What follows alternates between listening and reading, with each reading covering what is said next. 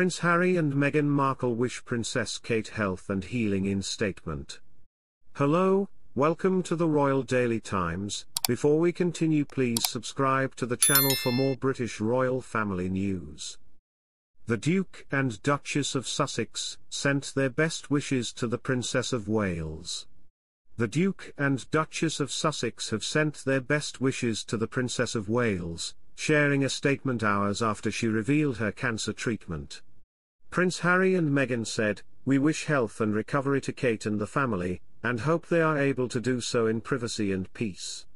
The relationship between Harry and Meghan, and Kate and her husband, Prince William, has been tense over the past 18 months, and it is not known whether Harry has also communicated privately with his sister-in-law.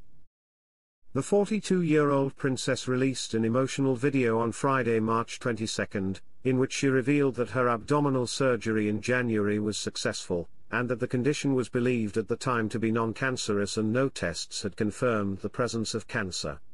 However, Post-operative tests later showed that cancer was present and she is now undergoing preventive chemotherapy. This was of course a huge shock, and William and I have done everything we can to address and manage this privately for the sake of our young family, Kate shared in the video, which was recorded in Windsor on Wednesday, March 20th.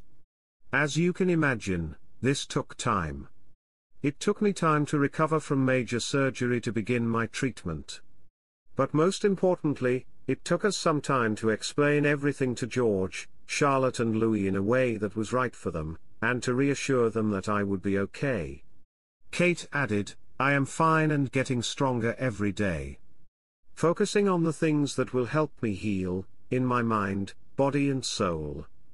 Having William by my side is a great source of comfort and reassurance too. As is the love, support and kindness shown by so many of you.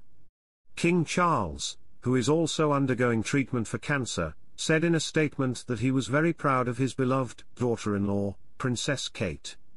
A Buckingham Palace spokesman said His Majesty was very proud of Catherine for having the courage to speak out as she did. Welcome.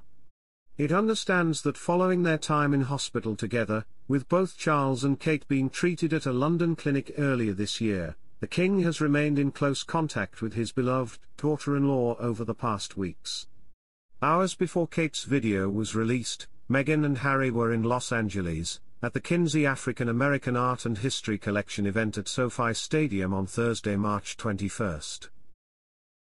In a video from the event posted to attendee Mateusz Kolo's Instagram account, Meghan can be heard telling guests, I thought, oh my god, Extending this could mean you're being vocal about your success, and they'll see you and tell you.